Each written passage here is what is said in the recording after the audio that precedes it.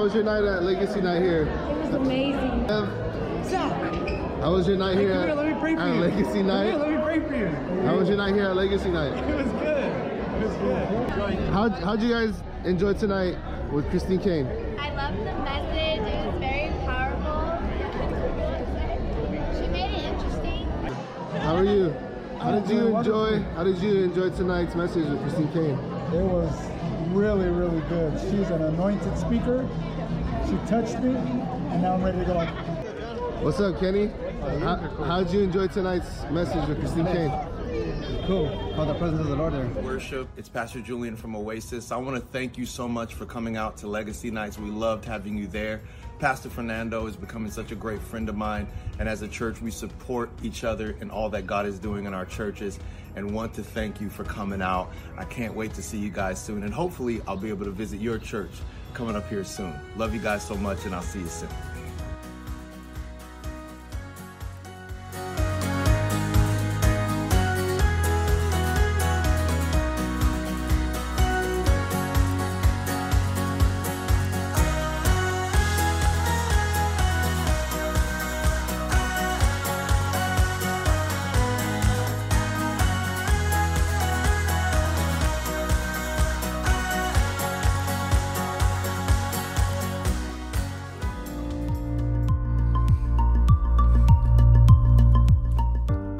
Church, let's do this. Um, I am honored, I am humbled, I am privileged to be here today, this morning, um, to be uh, to allow God to use me as a vessel. It is very uh, humbling. It's very testing. It's very uh, it's a privilege. So I count this an honor to be here with you this morning. Um, God has given me a word about the personhood of Jesus. That's what we're going to be talking about this morning is the personhood of Jesus and how important our Savior really is and who He is. But before we get there, um, I just want to pray uh, for us as a whole, for our families, the protection of our families, and just for our hearts this morning. Um, so if you can allow me to pray, let's pray. Dear Father, I pray this morning for uh, our souls, for our lives, for our minds, and for our hearts, Jesus. That that you allow us to be open, that you you speak to us, Father, in a way that is so clear, in a way that is so evident, Father, that is from you. I pray for our families, God. I pray for our friends, and I pray for this city as well as the whole world that is in your hand, that that you love so much. I pray just for your power and for your spirit to hover across our nation, to hover across our homes, uh, for your healing power to do miraculous wonders, Father. And Father, this morning, uh, I just pray once again for our hearts and for our souls to be open to hear your voice. In Jesus' name we say, Amen. Amen. All right, church. Well, hey, before I get into it, uh, I have to say how proud I am of every single one of you who have been tuning in. Um, if you're tuning in live, I, I salute and I have so much props for you because it's a hard thing to do. We thought that was going to be an easy challenge uh, uh, or an easy task. Just log in on your computer live. But being that we are in the comfort of our homes, um, it's a challenge. It's a challenge to do so. So we've noticed a lot of people viewing our services um, on demand. So uh, I I applaud you if you are tuning in live, and I applaud you if you're watching demand. So thank you. Uh, I have to give the glory and honor to God for what He's doing in my life, for what He's doing in our church life, in our family's life. And by family, I mean my my my dad and my mom. Uh, I just want to give credit where credit is due, and that's to my dad. He if uh, he's our pastor, uh, Pastor Fernie. I'm his son. I'm Fernie Franco Jr. Um, and I live here at the Thrive House, which is at uh, his house, our pastor's house. We live with uh, it's a total of twelve people and my parents, and we get to see firsthand um, the amount of work that it takes to run this church at this present moment. Being that we have to be live at home, it is way harder and way way much effort, way more effort. And he stays up to three in the morning editing videos. All the videos that you see that have edits, pre recorded videos, he edits most of them. Um, we have a team. I just want to give credit where that's due before I get into it. And our team is man, um, our sound guys, Manny, Greg, uh, uh, our the home, the the house, the Thrive House helps us set up. Uh, you know, um, Aaron makes some designs. Uh, Jonathan on the guitar, Nikki, Lupita. I and the worship team, man. I oh, I miss you so much. I want to worship together. Uh, but during this time, I think we all understand. So credit to those who have been helping on this journey of just this whole pandemic to have church online. So let's get into it, okay? Um, I hope your hearts are open. I hope your mind is open because we are going to be talking about the personhood of Jesus. Sorry about the hat. It, it's uh, I just have a. It says weird life, but I have a weird haircut, so I'm trying to hide that. Um, I feel like I'll show you. I feel like I look like the the guy, the little baby on the Lemonhead box, the little candy. So uh, it's just uh, that's why I'm wearing a hat. Okay. So the personhood of Jesus. Um, what a savior we have. That's what I'm learning. What a redeemer we have. What a messiah. What the answer to everything is in the personhood of Jesus. Um, and I'd like to begin by maybe comparing it to an analogy or an example that I have. And I have been privileged beyond measure to go to some of the craziest, coolest places in the world. Uh, ever since I was a kid, I've had a fascination and an adoration for Rome, Italy. Not necessarily the city itself, even though there's so much history, but when you think of Rome and you view it in your mind, what do you see? Yes, the Colosseum. And man, I, I ever since I was a kid, I would dream about being in the Coliseum. My favorite move, my favorite movie was Gladiator. It still is. It's a battle between Apocalypto and Gladiator. Um, but Gladiator, uh, Russell Crowe playing Maximus in the uh, battling for his freedom after his family was brutally murdered by the emperor, um, and battling for freedom in the uh, in the Colosseum. How much of that took place in those days? Uh, Christians were persecuted. I'm not saying that's a good thing, but history. Christians were persecuted. and uh, animal attacks uh, on humans, um, brutal things uh, events, shows, uh, uh, musicals, Broadways, um, uh, speeches. So much has taken place in the Coliseum, and that's still standing today. So I've been wanting to see it. And on my 18th birthday, I'm 26 right now. On my 18th birthday, uh, we went to Rome and we found ourselves in Rome, Italy, and my mom made it happen. And we we went on a bus to go to the Colosseum and I still remember it to this day. I was facing my parents like I'm facing you. The bus is moving this way. Uh, I'm talking to them, and I see something change in their look. My my dad and my mom, they knew how much I I wanted to see this, and they know how much I love Rome. And they tell me, "Hey, Fern, uh, turn around." And as I turn around, I promise you, it, it was a movie scene. It was like I heard I felt like I was moving in slow motion as I turned, and I the music's playing, and it's it's a it's a just theatrical strings, horns, and out go the curtains, and we turn, and there it is, the Colosseum, beautiful.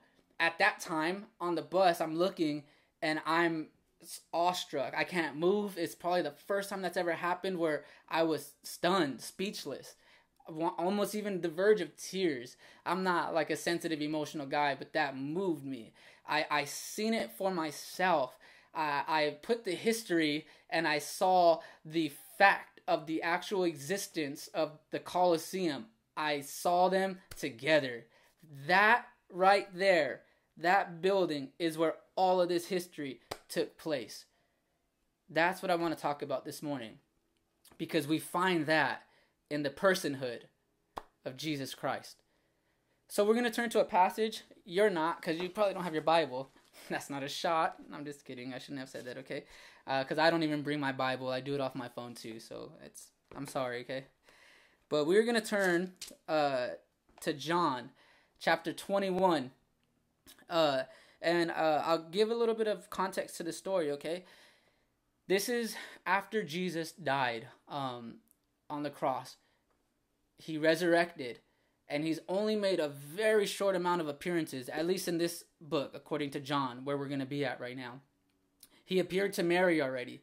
Uh, Mary went to the disciples, and the disciples were like, "Oh man, you know, like wow, you're lucky." Then he appeared to the disciples in the room. Thomas wasn't there, so Thomas was like, "Ah, you know, I don't know until I see it, until I see this the the marks in his hands and the mark on his side, until I put my fingers." Then he appeared again to the same room with the disciples later on, and Thomas was there, and they seen Jesus, and Thomas saw Jesus firsthand, and they believed. So they knew Jesus is alive. Everything that Jesus has said, because the, the the the Messiah was not only to be the king, but he was supposed to be the resurrected king as well. So that was a huge, huge uh, accomplishment in prophecy, the biggest that he resurrected. Now that they've seen it with their eyes, they knew this truly is the Messiah. This truly is the Christ.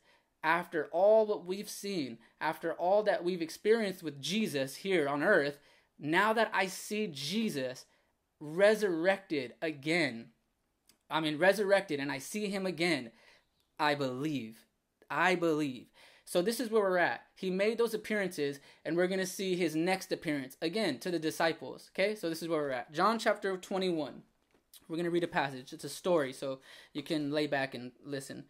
It says, Afterward, Jesus appeared again to his disciples by the Sea of Tiberias. And it happened this way Simon Peter, Thomas, the same Thomas that was doubting, Nathanael from Cana in Galilee, and the sons of Zebedee, and two other disciples were together. I'm going out to fish, said Simon Peter. Oh, Simon Peter told him, and they said, We'll go with you. So they went out and got into the boat, but that night they caught nothing. Early in the morning, Jesus stood on the shore, but the disciples did not realize that it was Jesus. He called out to them, Friends, haven't you any fish?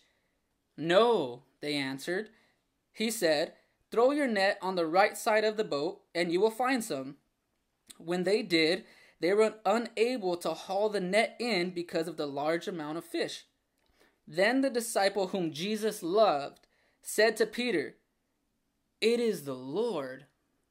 Probably astonished. It is the Lord. As soon as Simon Peter heard him say, It is the Lord, he wrapped his outer garment around him because he had taken it off and jumped into the water. The other disciples followed in the boat, towing the net full of fish, for they were not far from the shore, about a hundred yards. When they landed, they saw a fire of burning coals there with fish on it and some bread. Jesus said to them, Bring some of the fish you just caught. Simon Peter climbed aboard and dragged the net ashore. It was full of large fish, 153. But even with so many, the net was not torn. That's going to be important right now.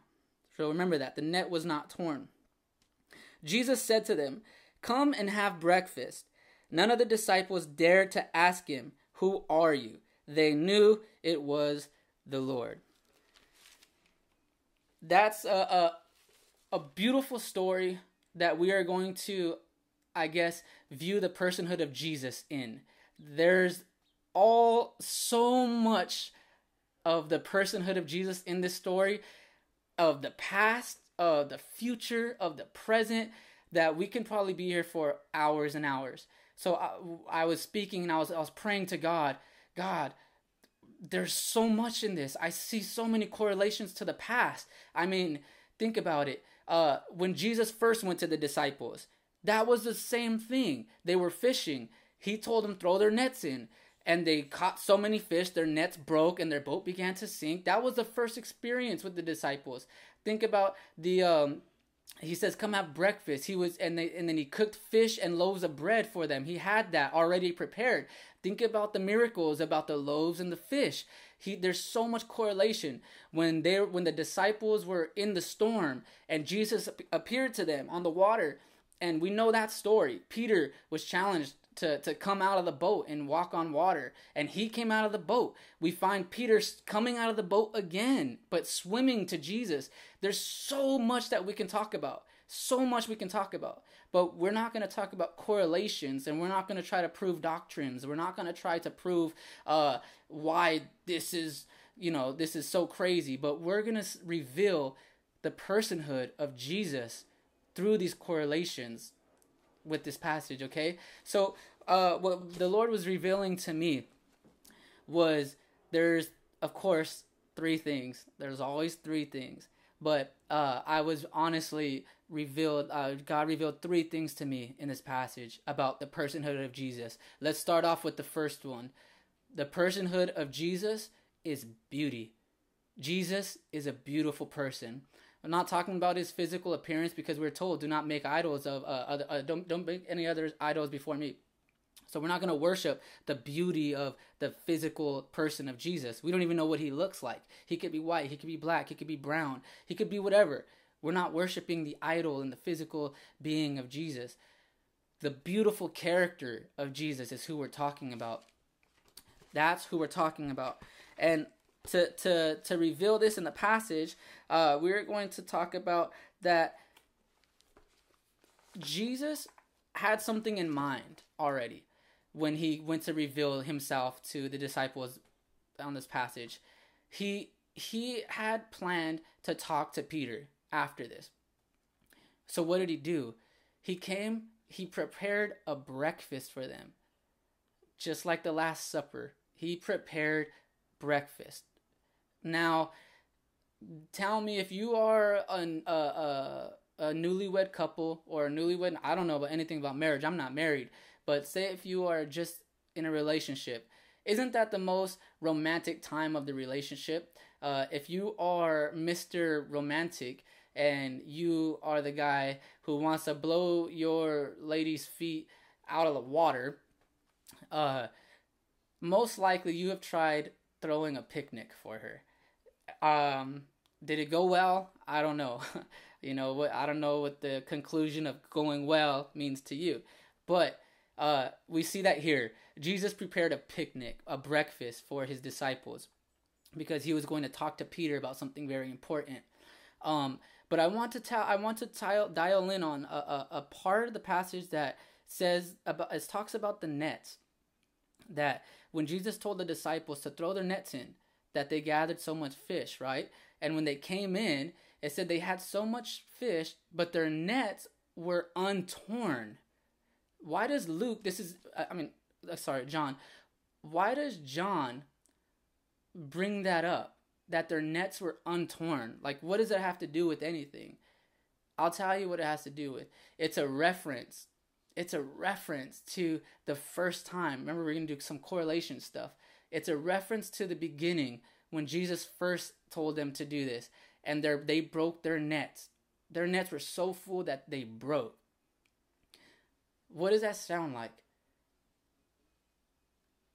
Brokenness in the beginning. Then, when you come back to the love of Jesus, when you come back to the same encounter with Jesus, when you have a solid structure, something that can't be broken, that's that's that's that's a solid foundation in your in your in your uh in your um man I can't think of the word but in your belief of Jesus it can't be broken. Your net cannot be broken. Even if you think about the boat, last time, the boat was so full of fish that it began to sink. They didn't they didn't have the same problem. Their boat was afloat. But if you think about I'm uh, now I am going to go back. If you think about the sinking boat, their boat was sinking because of the amount of fish that was in it but yet their boat was still sinking. Sometimes we view our life, if it's sinking, we view it in a negative way because it's most likely because of problems. It's most likely because something's not going right. But Jesus views a sinking boat as a blessing. But that wasn't going to be the point of the message here. The boat didn't sink and the nets did not tear, but yet he blessed them with that amount of blessings that you were able to handle, that you and I are able to handle. So what what what am I trying to say by this first point? Jesus is beautiful in the way that he blesses you. Jesus is beautiful in the way that he prepares you. We weren't as blessed as we were. The disciples weren't as blessed as they were when they first caught the fish because they weren't prepared for that amount of fish. Their nets broke and their, their boat sank. But what did they do? They must have strengthened their nets. They must have done some toward some type of reinforcement to their boat for for them to uh, be able to handle that amount of blessings. Jesus prepared breakfast for them this day. He knew he was going out for a purpose. He knew that these men were going to be hungry. I'm about to drop a bombshell on Peter. I don't want him I want him to be ready to receive this. Jesus is preparing something for you that you might see as negative. If your boat is sinking, don't view that as a negative. View it as something beautiful. View it as beauty from God, beauty from Jesus. It's easy to talk about the beauty of God because God is our creator. He's the creator of heaven and earth. I can go outside, I can watch a sunset, I can see the stars, and I can see the beauty of God. But when we're talking about the person of Jesus, the person, it's hard to see that because it always comes in ways where we view it as ugly a sinking boat, a storm, like when Jesus had Peter walk on the water, uh, a lack of food when Jesus performed the miracles. It's the beauty of Jesus comes in the form of ugliness and brokenness. And when you choose to receive that, when you choose to believe that, uh, he begins to uh, reinforce your life. He begins to, uh, I guess, expose you to his realness because we're going to talk about that. So, the first thing is the beauty of Jesus, the person of Jesus, the beauty. The second thing is the love of Jesus. Yes, this is evident and it's obvious, and we talk about it all the time. The love of Jesus, the love of God, the love of Jesus.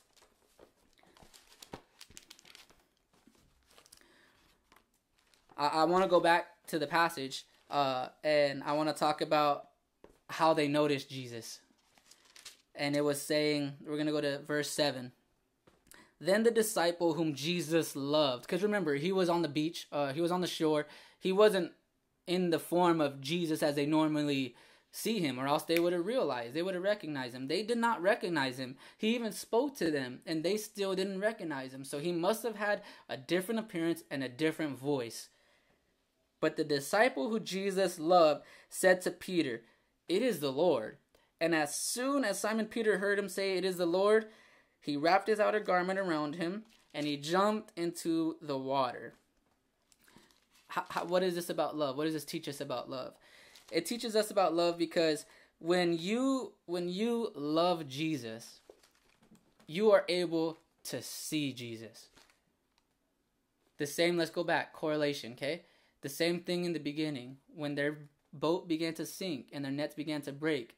They didn't see Jesus for who he was. They thought he was a teacher and a master, but they didn't see him. Peter didn't get out of the boat and swim to this guy and say, Who are you? No. But John, he noticed once their nets, he's like, This is Jesus. This is Jesus. This is the Lord. And when he told that to Peter, Peter has such a love for Jesus. Remember, Peter just denied Peter denied Jesus 3 times. Do you think that he has regret in his heart at this time? I strongly do. Because at least in the book of John, there's no talk about reconciliation, about you denied me, Peter. They didn't have that yet. So they haven't had that conversation, according to John. So Peter with the love he has for Jesus, jumps out of the boat, swims a hundred yards in the water to meet his Messiah that he knows is truly the Messiah. Love, when you can see Jesus, your love will grant you the desire to pursue him or do anything for him. Because let's go back. When you love Jesus, you can see Jesus, right? And when you can see Jesus, your heart is going to pound and be like, "Oh, this is Jesus." You know what? This is this is Jesus. I know this is Jesus. It may not look like him, it may not sound like him, but this is Jesus. This is my Lord. This is my Savior. And if I'm going to view this situation, if I'm going to view this negative situation as Jesus, then I don't care what I have to do. I don't care what I have to believe. I don't care what I may even have to think or tell people. But I'm going to pursue the fact that I believe this is Jesus, just like Peter did. Peter got a major blessing out of this. Uh, what was the blessing? I'll tell you. The Bible will tell you. When they were eating breakfast, it says after they ate, in John, same thing, chapter 21, verse 15. When they had finished eating, Jesus said to Simon Peter, the same Peter who denied Jesus three times, Simon, son of John, do you truly love me? Yes, Lord, he said. You know that I love you. Jesus said, Feed my lambs. Again, Jesus said, Simon, son of John, do you truly love me? Uh, he answered, Yes, Lord, you know that I love you. Jesus said, Take care of my sheep. The third time he said to him, Simon, son of John, do you love me? Peter was hurt because Jesus asked him the third time, Do you love me? He said, Lord, you know all things. You know that I love you. And then right here, Jesus reinstates Peter as the head of the church and as the rock. And he says, Feed my sheep. I tell you the truth. When you were younger, you dressed yourself and, and went where you wanted. But when you are old, you will stretch out your hands and someone else will dress you and lead and lead you where you don't want to go. He was actually talking about Peter's death there, but he instated he reinstated him there as, you know what? Feed my sheep then. You are going to be head of the church. That's not what the point of that that the person of Jesus, that's not the point right there of, of being Peter being reinstated. But the point is that Jesus loved Peter so much, he gave him a chance, an opportunity to not repent, but to try once more. He denied Jesus three times to clean to cover the ugliness of Peter's past, his regret, his conviction, his guilt of denying three uh, denying Jesus 3 times. Jesus asked him 3 times, "Do you love me?" "Yes, I love you." "Do you love me?" "Yes, I love you." "Do you love me?" "Yes, I love you." That's a hard thing to do if you are hurt by somebody to just give them the chance to give them the opportunity of forgiveness without really showing it without he come on what kind of betrayal is that to somebody? Somebody so close to you that denied you when you were about to die but yet just with the form of saying hey well do you love me? Yes i do. Do you love me? Yes i do. Do you love me? Yes i do. To allow that as okay i believe you. That's that's that's a genuine uh, a beauty. That's a genuine love. It's funny too because I, I think about it like we use that statement today. We use, "Hey, do you love me?" Oh, why? What do you want? You down to give me the remote? You know, like, oh, all right, you love me? Oh, okay, what? What do you want me to do? Oh, you think you can go to the store for me? Jesus did the same thing. He says, Do you love me? Yes. Okay, feed my sheep. Do you love me? Yes. Okay, feed my lambs. He did the same thing. So it's, it's a kind of a funny little term, but uh, Jesus is a little more serious in that statement than what we bring it to. So the last thing I want to talk about, if I can find it in my notes, because I lost my spot and it's upside down. Um, it, it's going to be truth. This is evident, but not at the time. You know, we, we think about Jesus today, and it's 2,000 years later. We have the Bible, which is what this point's going to be about the Bible, but they didn't. They lived in this life. They lived in the time of Jesus. They lived in the time of the Messiah. So the form of resurrection, the the uh, the uh, the account of resurrection to us, we take it as truth, but they seen it firsthand. And that's what this passage is about. They're seeing Jesus, but in a whole nother form. And right there, uh, it took Thomas to put his finger in Jesus' hands. And he said, Truly, you are the Son of God. Truly, you are the Messiah.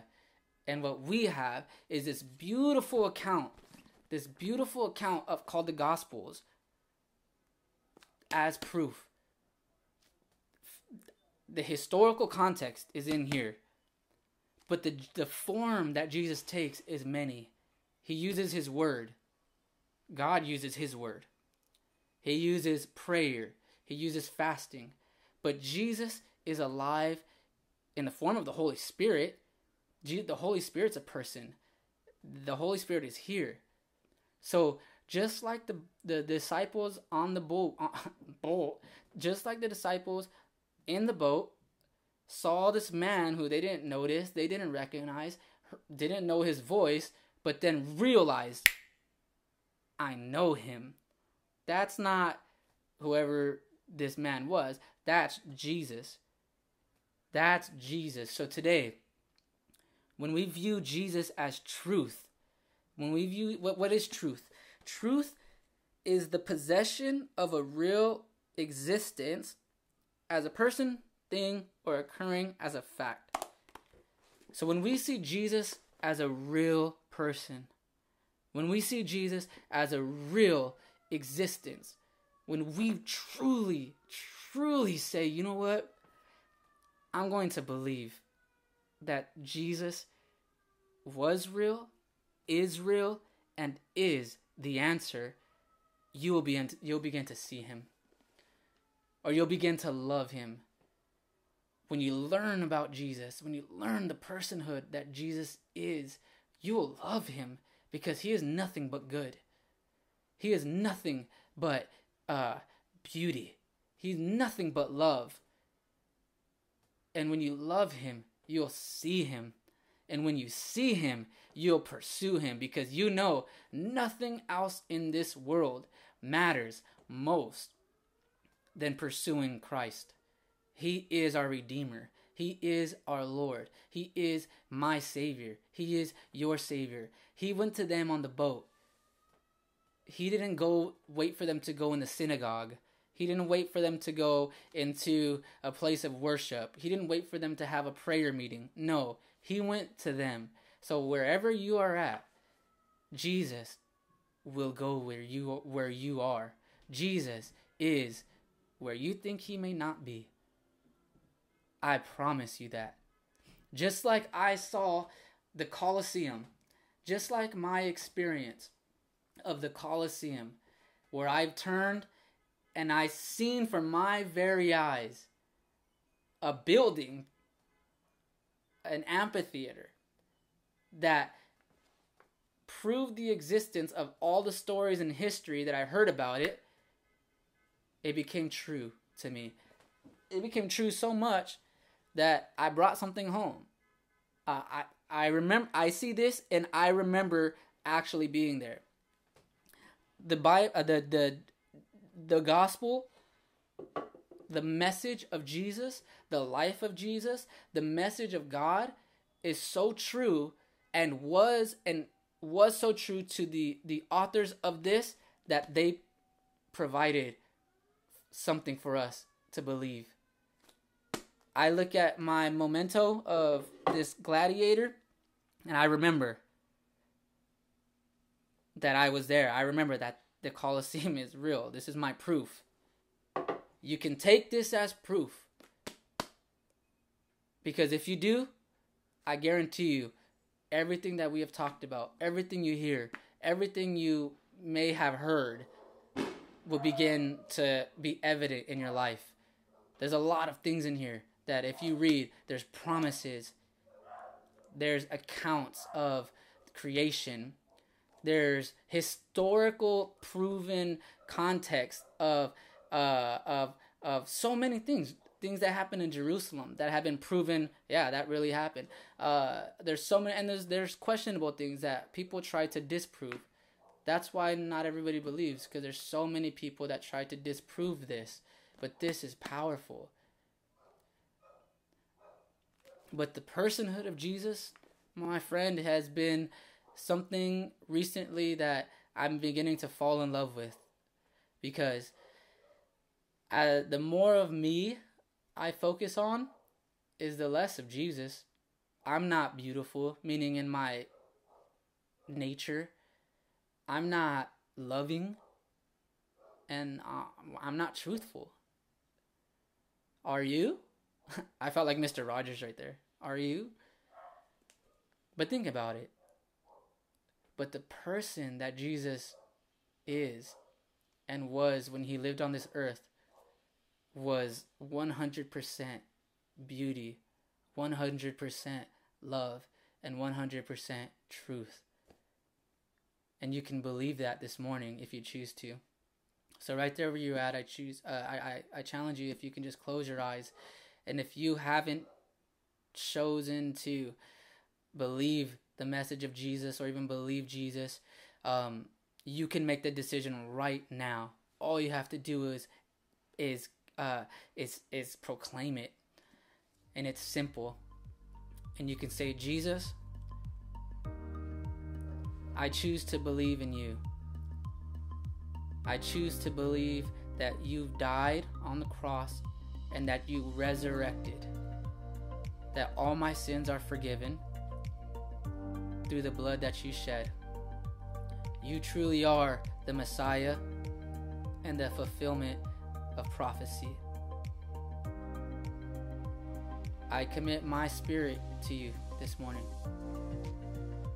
Thank you for for thank you for forgiving me of my sins. I thank you and I love you. Amen. That's it. What do you do now?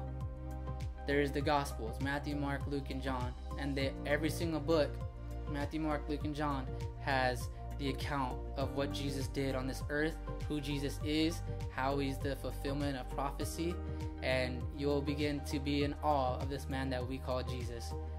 So, church, thank you.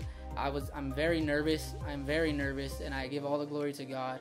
Uh, I'm sorry if some things didn't make sense. Um, I I tried my hardest and I, I, hope this message has spoke to you. I give all the glory and honor to god for what he's doing in my life for what he's doing in our church for what he's doing in our family and i give him all the glory and all the praise and i love him with all my heart. Uh, i'm gonna keep going and i'm gonna keep swimming to him because i can see him moving. Be blessed and i'll see you next week